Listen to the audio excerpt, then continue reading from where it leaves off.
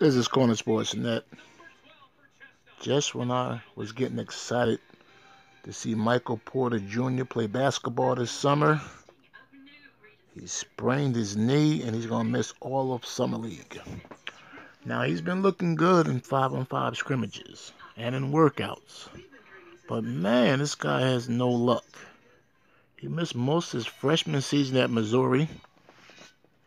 Then after that, went to the NBA. Um, he had back surgery, a couple of surgical procedures. Now it's summer league, and he's gonna miss all of summer league.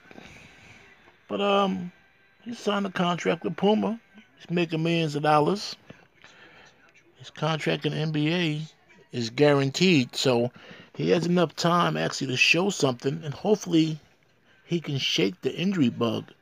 I mean, most athletes in his family had all kind of knee surgeries and everything, but hopefully he can shake the injury bug.